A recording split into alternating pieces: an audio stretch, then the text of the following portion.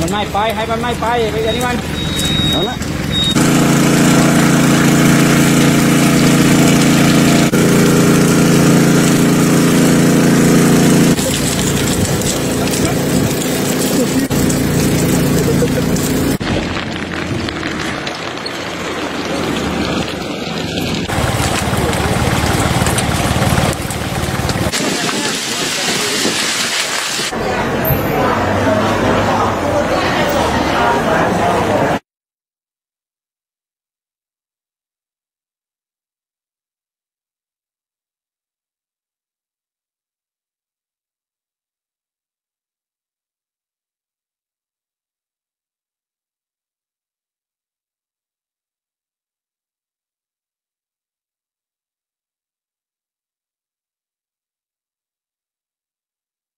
ที่ที่ที่หน้าหลงได้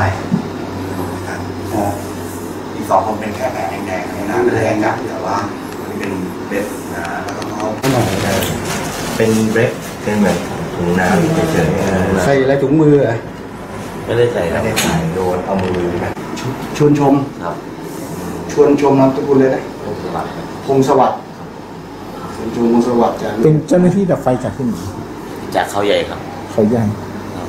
ท่านผอครับ อาการของเบื้องต้นเนี่ยนะครับ มีมารักษากี่กี่คนครับ แล้วก็อาการเป็นยังไงบ้างมีมีมาทั้งหมด 3 คนนะครับ คนนี้จะเป็นคนที่อาการรุนแรงที่สุดนะครับ เป็นลักษณะแผลไฟไหม้ระดับ2นะครับ ซึ่งมีเป็นแบบถุงน้ำเป็นผิวหนังพองน้ำนะครับ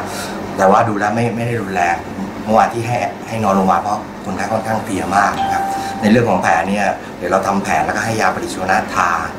วันสองวันก็คงได้กลับบ้านนะครับ ส่วนอีกสองรายนี่เป็นแค่แผลแดงๆธรรมดา เราก็เลยให้กลับบ้านเลยไม่ได้ให้นอนโรงพยาบาลนะคเป็รับนบาดแผลจากไฟลวกเป็นแบบจากไฟจากไฟไหม้อะครับโดนแผลไฟครับนะครับ มันมายังไงอะมันอยู่ในร่องภูครับ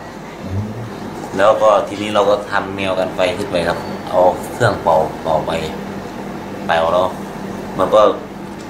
ค่อนข้างแรงนะครับ เศษไม้เศษอะไรมันเยอะครับก็ตี ขึ้นมาลมพับตีก็หอมเศษคนเลยครับ แล้วออกจากป่ามากันยังไงก็ไฟอ่อนตัวนั่นแหละครับไฟเดินออกมาทีนี้